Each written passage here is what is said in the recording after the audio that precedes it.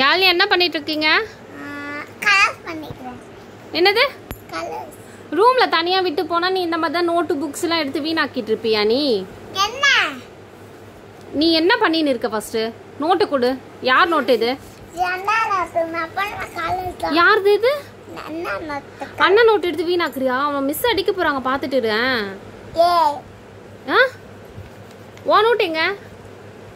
சரி நெத்தில என்னது? என்னது? யார் பூசுனது இவ்வளவு பெருசா?